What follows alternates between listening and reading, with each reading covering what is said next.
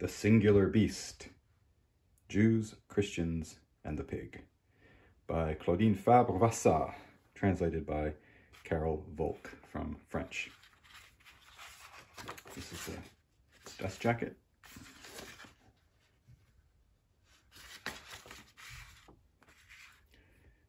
That's a pig. All right, so I like the color. It's got this sort of burgundy paper sides with quarter bound in cloth here. A nice texture to it. Solid book.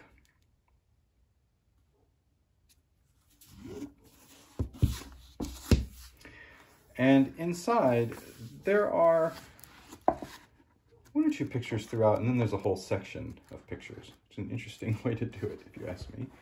So it's not that there, as you see, there aren't that many pictures throughout. You hit one or two, and then at one place, there are a bunch of them. Here we go. You sort of get to this place where there are lots of lots of pictures all in a row. so the book is about how different cultures, particularly the Jews and the Christians, have treated the pig and pork um, through their fables and through their traditions and and and the interaction between Jews and Christians, that is to say, some of the way that they treat the pig is not is not just different between Jews and Christians, but is specifically done because it's different.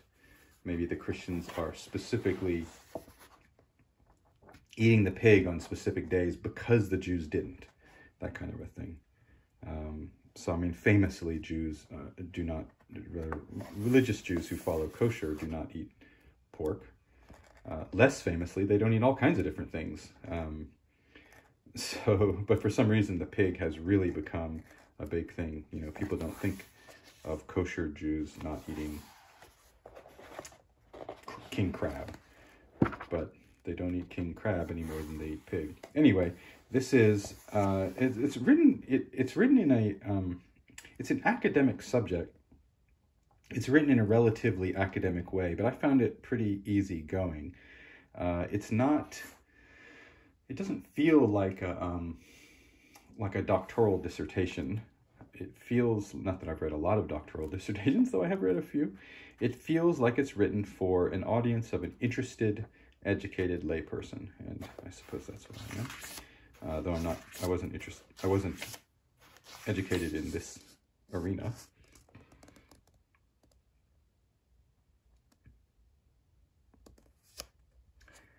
I, I, I suppose I have an interest in the interplay between Jews and Christians, and suppose so that gave me a head start on this book. And maybe if you didn't have that, you wouldn't find it as interesting, um, but I found it well done. Okay, so the paper is reasonably thick.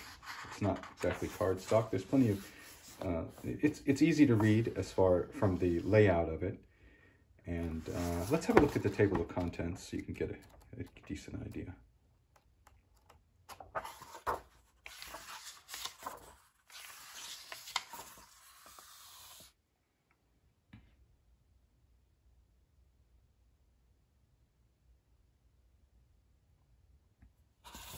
These, these do not give you a lot of information, do they, about what the chapter is about.